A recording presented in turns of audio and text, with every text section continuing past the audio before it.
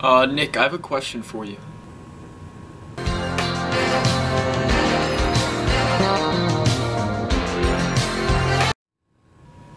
You you okay? You have a radio on you or something?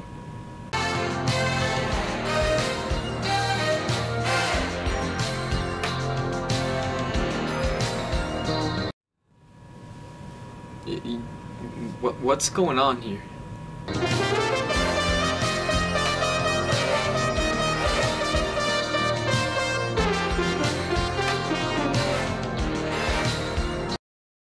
When did you start speaking in cheesy 80s montage music?